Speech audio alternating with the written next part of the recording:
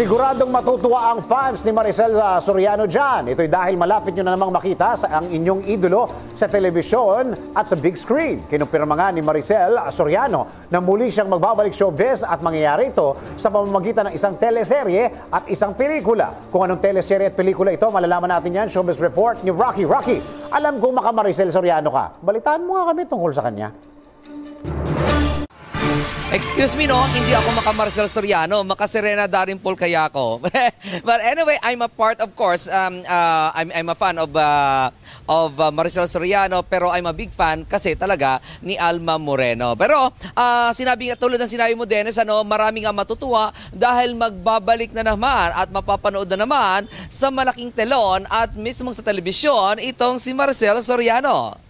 Muling magbabalik showbiz ang tinaguriang Diamond Star na si Marcel Soriano. Si Marcel ay nakatakdang magkaroon ng TV comeback sa pamagitan ng teleseryeng The General's Daughter sa ABS-CBN kung saan makakasama nito si Angel Locsin at ang nag-over the backod na si Raisa Sinon.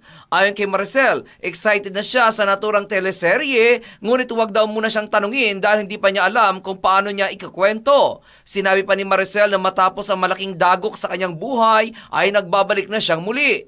Anya na miss niya ang showbiz kaya't noong inoffer sa kanya ang naturang teleserye ay agad niya itong tinanggap kaya't nagpapasalamat umano siya ng sobra sa mga taong nagmamahal pa rin sa kanya. Ayon pa rin kay Maricel, magkakaroon din siya ng movie ngayong taon kaya't magiging busy na naman siya.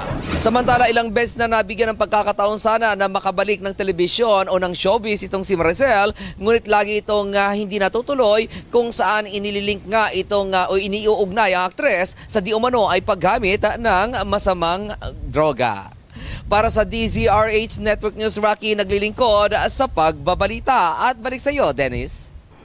Maraming salamat. Nagbabalita si Rocky. Para updated ka sa mga ganapan sa loob at labas ng bansa, mag-subscribe sa DZRH News Television YouTube channel.